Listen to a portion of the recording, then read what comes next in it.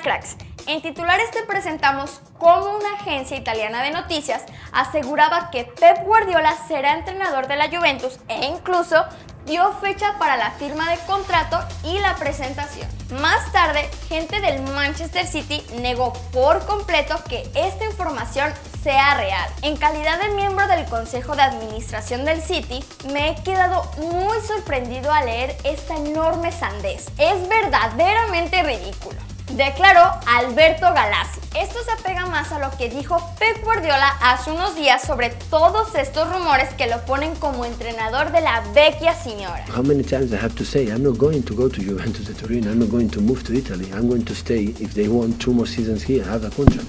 I'm not going to move. I'm satisfied working with this club, with these people here. I'm not going everywhere.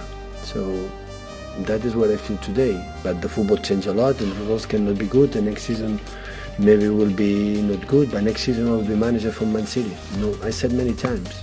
Cracks, ahí tienen todos los lados de esta historia que parece terminar con Pep manteniéndose en el City. ¿O ustedes qué opinan?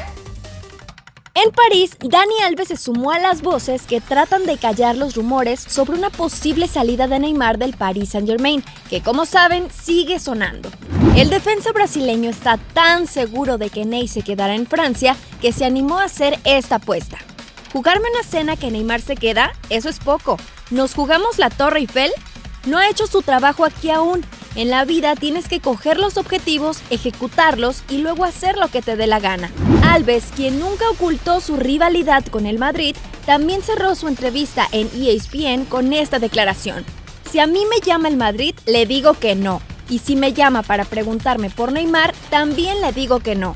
Pero Thomas Tuchel no parece estar tan seguro pues aunque él quiere mantener a tanto a Neymar como a Mbappé, esto dijo. Beaucoup de clubs euh, veulent transférer beaucoup de joueurs, mais je ne sais pas. Si, si, vous demandez encore, moi, comme entraîneur, si je veux absolument que les deux sont ici, clairement, oui.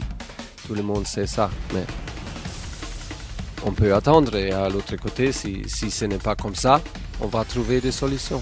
La información más importante del fútbol la encuentras aquí. Suscríbete. El tan sonado fichaje de Matthijs de por el Barcelona está en veremos.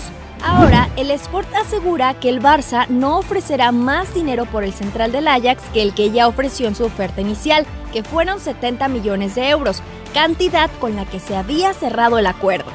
Esta información dice que después de la buena temporada de Matthijs y el Ajax, el jugador y su representante Mino Rayola esperan obtener más dinero, cosa que el Barcelona no estaría dispuesto a ofrecer.